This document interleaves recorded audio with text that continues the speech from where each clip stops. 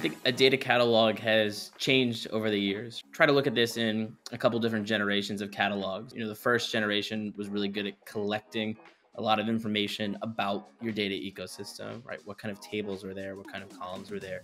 I think we've moved on to this sort of into Gen 2 and now into Gen 3 data catalogs where it's all about activating different types of metadata. So it's not just about collecting and siloing information into one centralized catalog. It's also being able to utilize that metadata in other parts of your data and analytics ecosystem. Fundamentally, um, we are collecting and cataloging or inventorying your data assets.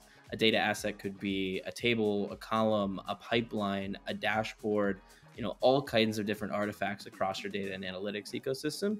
And then what we're also doing in, I would say, a modern data catalog is typically things like lineage or an accompanying business glossary, um, all around supporting metadata use cases and all around making things more discoverable and understandable uh, in your data ecosystem. Thanks for watching that video. If you'd love to learn more about Atlan or you just want to see a product demo or talk to someone on our sales team, make sure you follow the links in the description below. If you love the video, smash that like button and please subscribe to our channel.